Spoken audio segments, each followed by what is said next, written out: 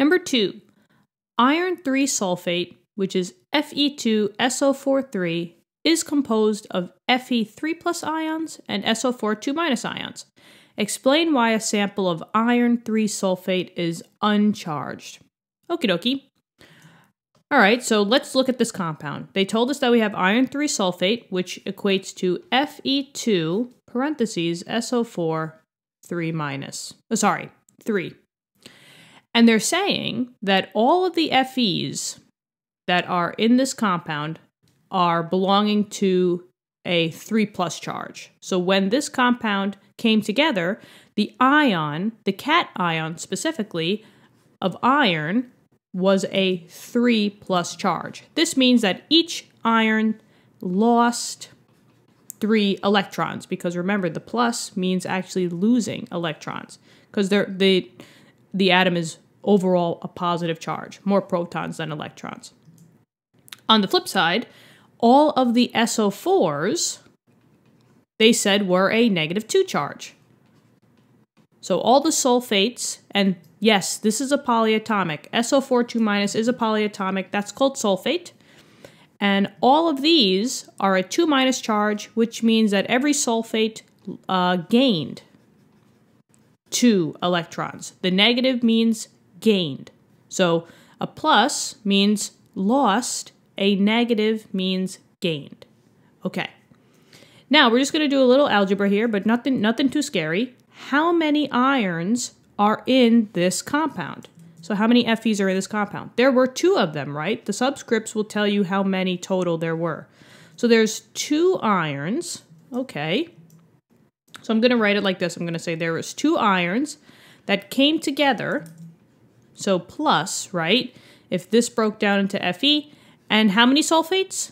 There were three, right? There's three total sulfates we don't include this 4 because the 4 is part of the polyatomic of sulfate. So we only say that there were three SO4s. You see that?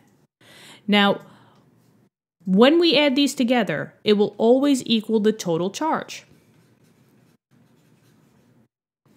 So now let's figure out what the total charge is. There was two irons, and what charge was each iron? oh, each iron was a 3 plus. It lost 3 electrons. So this would be a plus 3. And just how I wrote it here, you would always multiply. So you're really doing 2 times plus 3. Plus, now what was the charge for sulfate? We had 3 of them, and each sulfate was a negative 2 because you gain 2 electrons for each one. So this would be negative 2.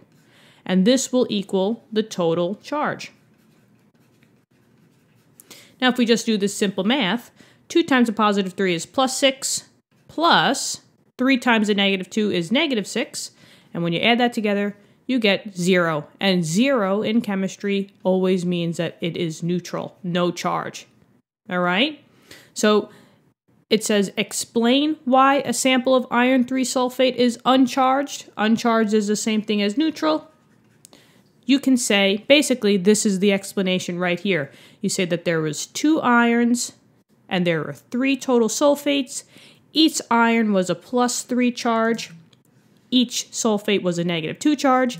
And when you add those total charges together, you get zero as your overall charge, which means that the overall atom is, or the overall compound of iron 3 sulfate is neutral.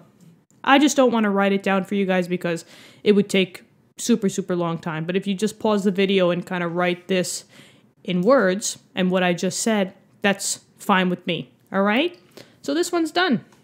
This is the basis behind why compounds form the way that they do. So it's super important concept. And I'm sure that we're going to be seeing this tons more times down the road in chapter four. Thank you so much for tuning in. Hopefully this helped give the uh, give the video a like if it did. Subscribe to the channel if you want. If not, I'll still be putting videos out.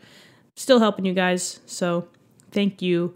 I'll see you guys in the next question. Happy studying.